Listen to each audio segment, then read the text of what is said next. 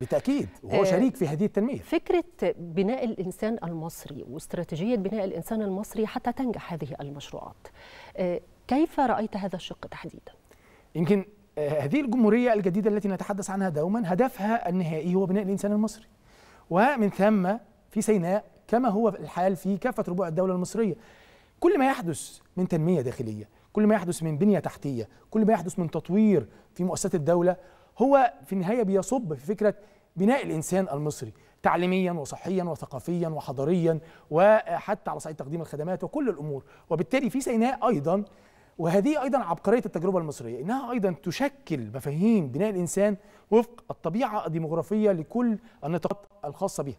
عشان كده لما نشوف مثلا التنمية العمرانية في سيناء وإنشاء التجمعات السك- السكانية في سيناء ذهبت الدولة لإنشاء هذه التجمعات السكانية بما يتوافق وطبيعة الحياة السيناويه مم. فرأينا منازل على طبيعة المتطلبات لهذا الإرث المصري التاريخي المتميز للغاية سواء فيما يتعلق ب يعني طبيعة المعيشة بعض الحظائر للدواب الطبيعة الزراعية غيرها من الأمور وحتى رعي فيها التقاليد وبعض العادات لأهالينا في سيناء. هذا بالتأكيد يؤكد أن الدولة حتى وهي تذهب لفكرة بناء الإنسان هي تذهب لبناء الإنسان وفق متطلباته. وفق ما يلبي احتياجاته. وهذه نقطة بالغة الأهمية. أيضا توفير الخدمات الصحية والتعليمية. نعم.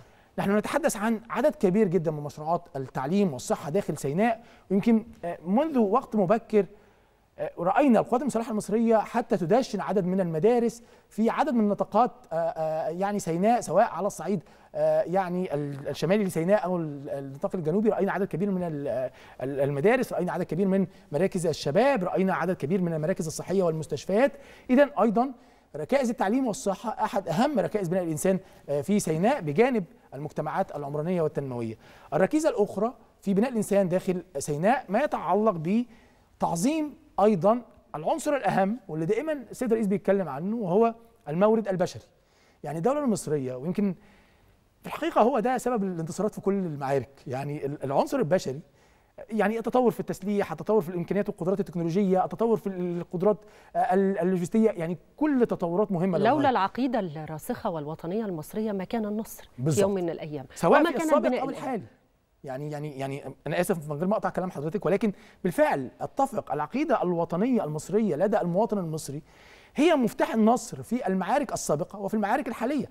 وبالتالي أيضا تعظيم هذا المورد البشري طوال الوقت أمر مهم للغاية. لهذا بنجد الآن حتى حديث من الدولة المصرية.